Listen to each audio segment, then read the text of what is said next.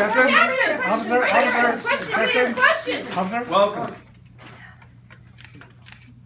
First, I would like to thank officers of the Elkhorn Police Department, our law enforcement partners, and Elkhorn Matheson Memorial Library staff for their hard work and cooperation in this investigation.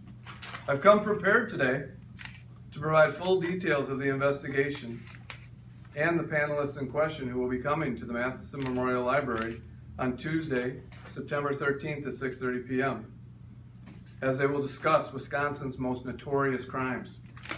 Suspect number one, Linda Godfrey.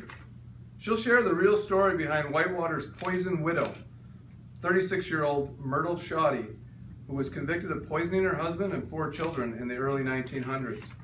Suspect number two, Matthew Prigge. Well, you will discuss his extensive research involving the violent beginnings of the city of Milwaukee in the 1800s.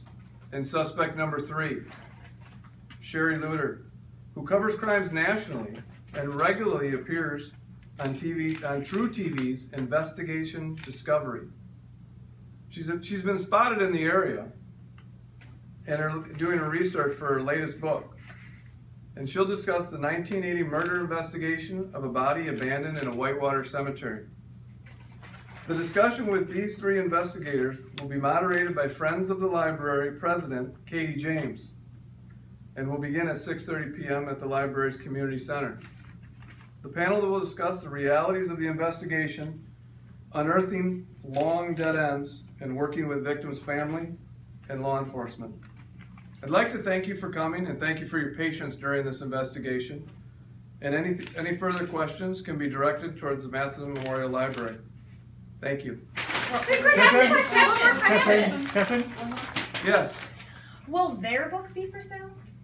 the author's books will be for sale, and they may also sign them when you purchase them. Captain, Captain, Captain, Captain. Captain, right here, Captain.